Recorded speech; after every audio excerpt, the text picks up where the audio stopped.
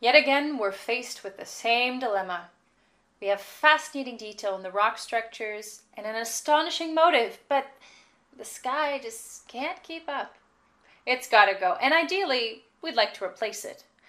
This is where the new composing function from Color Projects 5 comes in.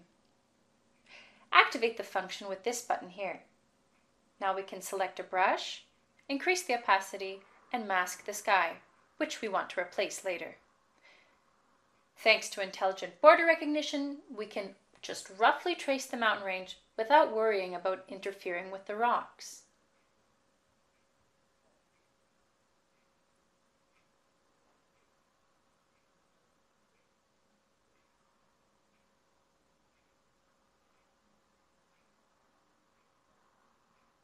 All done. So the sky is gone. And now we recommend to enlarge the mask with one of these symbols either with single pixel or 5 pixel accuracy. Then click on the checkered pattern to select a new sky. Ta-da! It's switched out in the blink of an eye. But be careful. Don't forget to turn off the mask so that you can actually see what's happening. Let's move the sky some.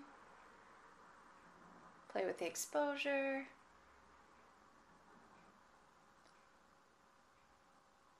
Hit close and marvel at your masterpiece. Here's what we had before.